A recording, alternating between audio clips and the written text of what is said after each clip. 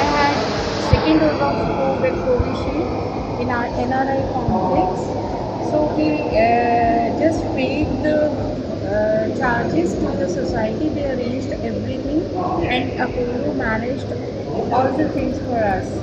We had no fuss. We just came, got our registration done, and the things were okay. So there was no waiting period.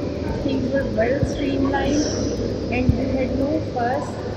And we very easily got the vaccine, and uh, just now we are safe, feeling safe. Thank you.